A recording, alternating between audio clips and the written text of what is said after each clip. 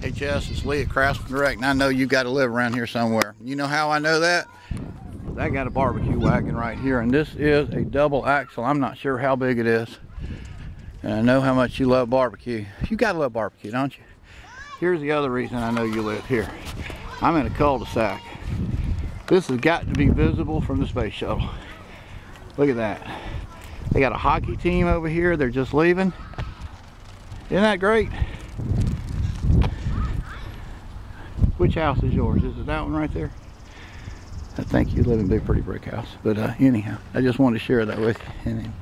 I'm here pressure washing Sunday about 1 o'clock. Hope you're okay. Take care. Bye.